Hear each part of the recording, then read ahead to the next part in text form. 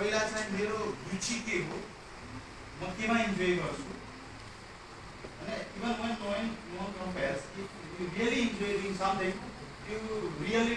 at that area. Document बेला तपाईँको interest के हो त्यो कुरा. कसैलाई हिसाब दिएको पिसाब आउँछ भन्ने हुन्छ कसैलाई चाहिँ आई विन इन्जोय होइन क्रिएटिभ आइडियाज भन्ने हुन्छ। गर्दाखेरि तपाईँको आफ्नो इन्ट्रेस्ट के हो अब कसैको स्ट्रेन्थ के हुन्छ नम्बरमा स्ट्रेन्थ हुन्छ कसैको वर्ड्सहरूमा क्रिएटिभ आइडियाजहरूमा स्ट्रेन्थ हुन्छ कसैले चाहिँ एकदमै